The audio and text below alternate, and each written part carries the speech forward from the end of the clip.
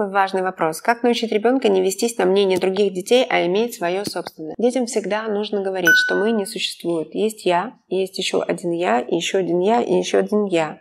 И поэтому всегда нужно иметь свою голову и руководствоваться своими желаниями, своими потребностями. Я так детям и говорю, и вам рекомендую. Вы говорите, послушай, что ты думаешь по этому поводу? Или кто это все затеял? Они говорят, мы все. Я говорю, нет, все не бывает.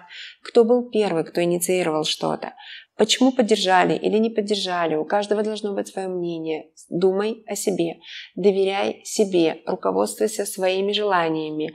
Ты можешь хотеть того же, что хочет другой человек, и можешь не хотеть того же, что хочет другой человек. И поэтому имей смелость заявлять о своих желаниях напрямую. И никогда не бойся, что а, тебя не примут в игру или еще что-нибудь, потому что лучшее, что ты можешь с собой сделать, это оставаться самим собой всегда четко понимая свои конкретные желания, а не подстраиваясь под кого-то. Это, конечно, такой длинный спич, который я только что сказала, но его можно начинать говорить детям с достаточно раннего возраста, там, с трех с половиной лет, просто его покороче, чего ты конкретно хочешь, можно сказать.